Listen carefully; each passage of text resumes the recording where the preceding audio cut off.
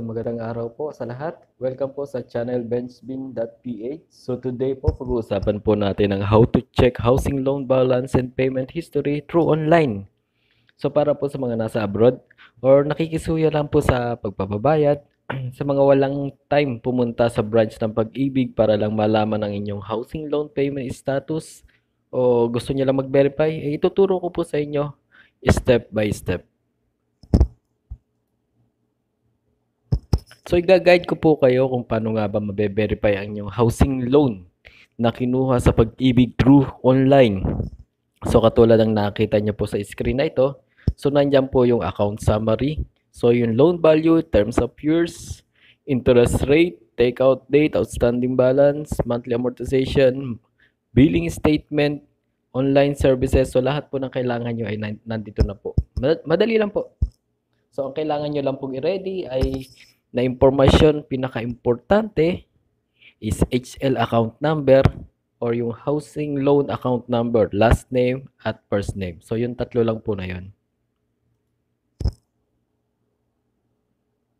So, una, i-open lang po natin ang link na to www.pagibigpanservices.com So kapag na-open po natin ang link na to, it will direct you sa website na pag-ibig as what you can see here in this screen.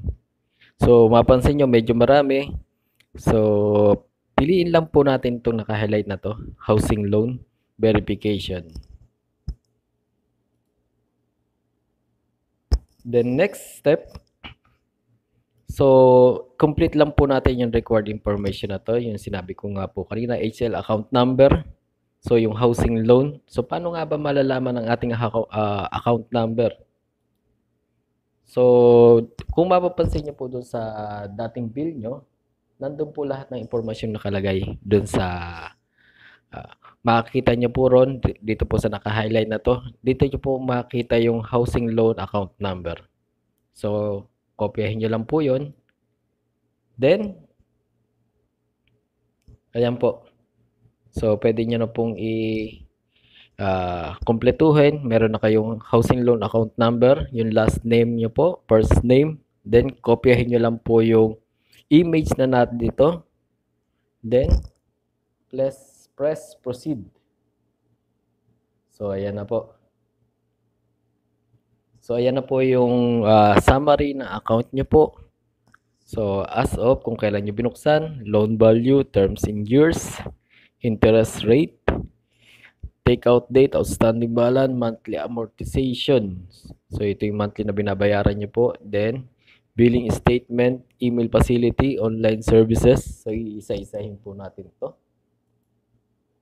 So, dito po sa billing statement, email facility, so, check here to update email address for monthly billing statement. So, kung gusto niya lang naman po uh, makareceive ng uh, billing na i-send directly sa email nyo, eh, press nyo lang po ito. Then once nyo na i-press nyo, so nandyan po yung, uh, itatype nyo lang po yung inyong uh, email address kung saan nyo gustong i-send yung inyong billing statement. So, optional lang nung, naman po ito kung gusto nyo makareceive. Pero, ako kasi, gusto ko rin makareceive sa email. Mas madali po rin kasing i-access o mas maganda may mga iba't ibang way para makareceive ng billing statement sa pag-ibig. So next is this uh, online services. Sa online services, nandiyan po yung billing statement at payment history. So sa billing statement po, dito po i-download lang po natin ito. Kung gusto po natin uh, makita yung ating billing statement for the month of yung pinaka-latest po na billing ang nilalagay po nila dyan. So ayan, once na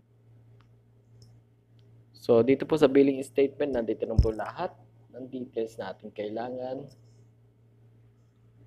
So, almost the same dun sa nare-receive po nating billing statement. So, lahat po, nandiyan po yung installment, due date, uh, every 25th of the month, mga details. So, yung current billing, yung mga unpaid amortization, yung mga penalties, total amount due, So yung last payment na uh, binigay po natin, payment date, para sa mga transaction number at applicable month, amount, so outstanding balance. So, dito naman po sa payment history, kapag dinownload po natin to, select lang po natin kung gusto nating ma-view yung payment history natin. Ayan po, nakalista po dyan ang lahat ng 12 payment na ginawa natin. Yung 12 payment, yung kung monthly, sa isang taon po. Sa loob ng isang taon, nakaregister po lahat dyan.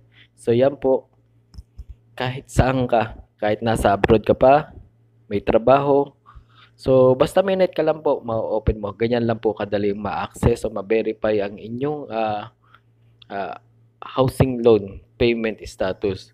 So, especially para sa mga nagpapabayad lang na katulad ko, eh pwede nyo ma-verify ang payment instantly.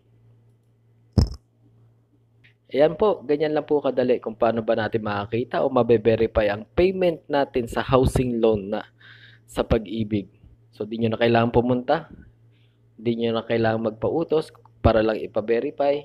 So, as long as alam nyo po yung inyong housing loan account number, last name, first name, yun, enough na po yun.